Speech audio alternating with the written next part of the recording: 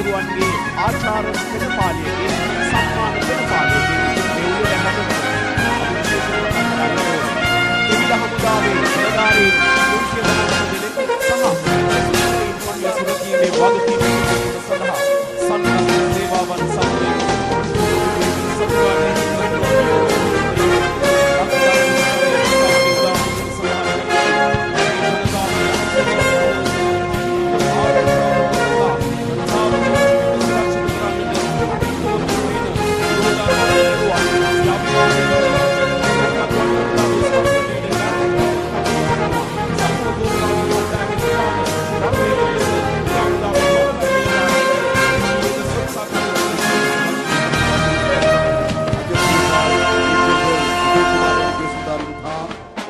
කාර්ය මණ්ඩලය සංවිධානය කරන ලද සම්මාන පෙළපාලියේ නිමාව සනිටුවන් කරමින් දැන් සමූහ තූර්ය වාදක කණ්ඩායමේ ඉවත් වීමයි සිදුවන්නේ.